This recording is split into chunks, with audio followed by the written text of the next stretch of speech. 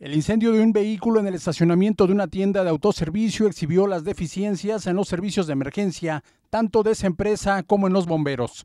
El incendio ocurrió en el estacionamiento de la tienda ubicada en la colonia Santanita, en los límites de la ciudad de Oaxaca y Jojocotlán. Un cortocircuito provocó el fuego en el vehículo de uno de los clientes.